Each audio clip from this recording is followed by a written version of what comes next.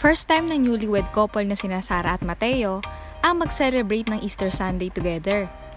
Nakasama nga rin nila ang mga magulang at kapatid nitong si Mateo sa isang simpleng selebrasyon at home. Ang Easter Sunday nga para sa Ashmat ay mas meaningful ngayong taon, lalo na para kay Sara, dahil this time, isa na nga kasi itong ganap na miyembro ng Gudicelli clan. Hindi rin talaga maalis ang labis na pagkatuwa ng ina ni Mateo na si Glenna nang i-share nito ang mga photos nilang mag-anak sa Instagram.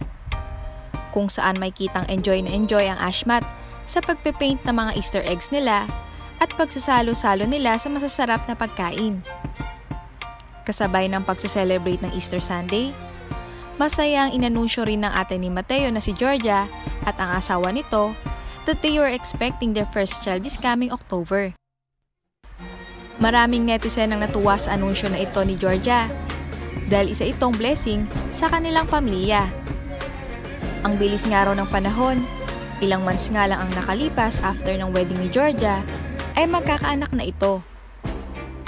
Ikinasal si Georgia noong December 8, 2019 lamang, halos hindi malayo ang agwat sa araw mismo ng kasal ni Sara at Mateo.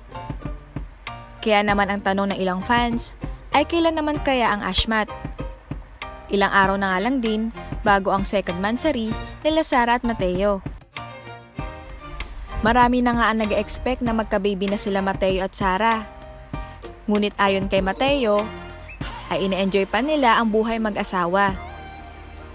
Pero umaasa pa rin ng mga fans na baka after nitong lockdown raw ay magkaroon na rin ng good news mula kina Sara at Mateo katulad sa atin nito na si Georgia na soon mami na.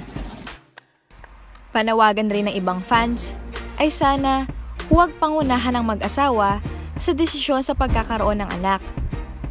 Hiling rin ng mga ito na sana raw kapag nagbuntis na si Sarah ay makasama nito ang kanyang ina na si Mami Divine upang maalagaan at magabayan ito sa kanyang mga pangangailangan habang nagbubuntis.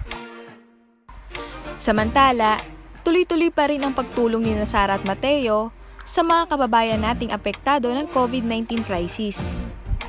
Ang fundraising campaign ni Mateo ay ongoing pa rin at kasalukuyang nasa mahigit 9 million pesos na ang nalikom na donation dito.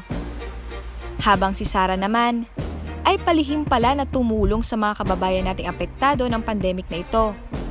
At ito ay ayon sa post ni megastar Sharon Cuneta kung saan pinasalamatan niya ito sa ginawang pagtulong.